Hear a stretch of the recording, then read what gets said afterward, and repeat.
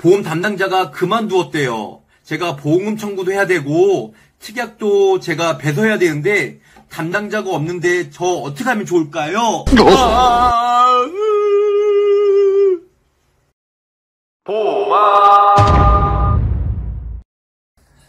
보험을 사랑하고 보험인으로서 보험을 쉽게 알리고자 하는 보험왕입니다. 반갑습니다.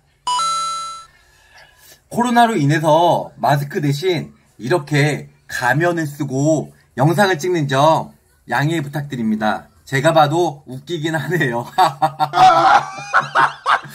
네.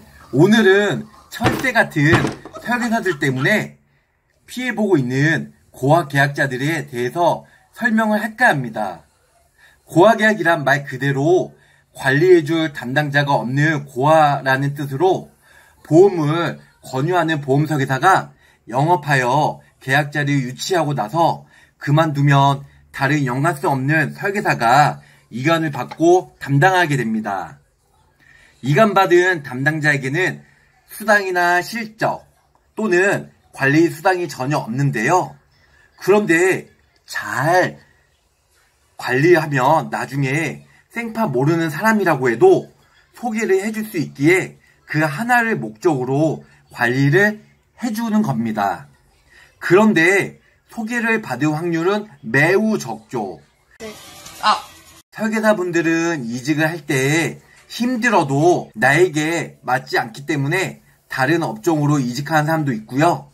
현재 있는 보험사보다 더 많은 수당과 시책을 주는 다른 법인 대리점으로 이직하는 경우 등 여러 가지 형태로 회사를 옮기게 됩니다.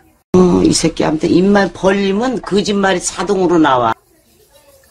웃기네요, 제 얼굴이. 네.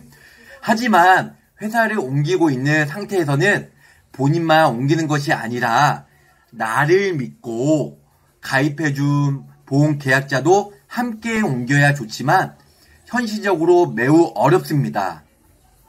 우선 원수사라고 하면 삼성, 교보, 멜치화재 한 회사에 소속되어 오직 본인 회사만 가입할 수 있는 회사가 바로 원수사입니다. 원수사에서 깁사하신 분들은 다른 법인 대리점으로 이직한다 해도 원수사에서 고객, 즉 보험계약자를 다른 보험 대리점으로 옮겨주지는 않습니다. 아무리 고객이 때를 쓰고 진상을 피고 금융감독원에 민원을 넣어도 이간을 안 해주고 있죠. 반대로 법인 대리점에서 예를 들면 메리츠로 가입을 했으면 그 설계사가 다른 법인, 법인 대리점으로 회사를 옮기게 되어 메리츠 코드가 나오면 보험 계약자가 콜센터로 담당자를 바꿔달라고 하면 최초에 가입했던 대리점에서 승인을 해주면 이관을 해줍니다.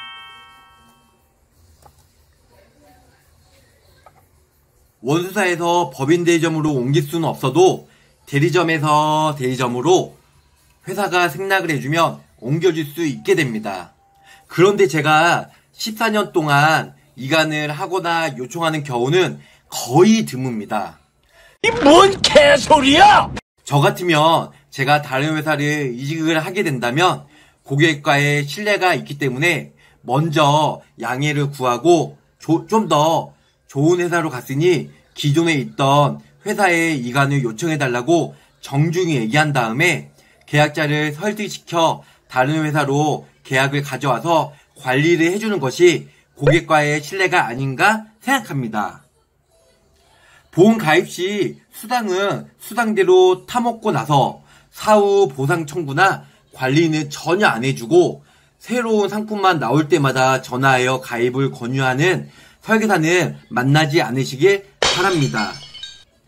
기존 가입된 상품들은 좋다 안 좋다 특약을 삭제하고 배서해라 등 본인은 시키기만 하고 정작 잔일은 이관받은 설계사가 다 처리하는데요. 새로운 상품만 가입을 시킬 수 있는 개수작은 이제 그만하시고 이미 가입한 고객분들도 이 사람이 나에게 추가적인 보험 가입 때문에 개수작을 하는구나 하는 느낌을 이미 벌써 알 것입니다. 따라서 추가 계약을 원하시거나 혹은 다른 사람으로의 소개를 받고자 하신다면 담당자가 없는 고아 계약을 만들지 마시고 다른 곳으로 이직을 했다 할지라도 끝까지 내가 가입시킨 고객은 책임만 갖고 소신껏 관리해 주시기 바랍니다. 보험 담당자가 회사를 그만두거나 혹은 연락이 안 되어 힘들어 하신 분이 계신다면 저 보호망에게 바로바로 연락 주십시오. 제가 이간을 받건 안 받건 간에 보험금 청구 시 혹은 배설을 어떻게 해야 되는지 증권 분석을 통한 리모델링 등 기존 가입된 내용과 추가적인 부분이 필요한 부분에 대해서 조언을 해드리고 옆에서 서포트 해드릴게요. 물론 무료이고요. 초특급처럼 그 실력으로 유료 상담비 안 받습니다. 결론은 말씀드릴게요. 저에게 많은 분들이 연락을 주신 보험 계약자분들, 보험 설계사가 마음에 들지 않거나 연락이 안 되었거나 보험 일을 그만두어서 도움을 받고자 연락하신 분들이 대부분입니다. 저도 개개인의 사정을 들으면 같은 업계 종사자하고 있는 입장에서 창피하고 정말 쪽팔립니다.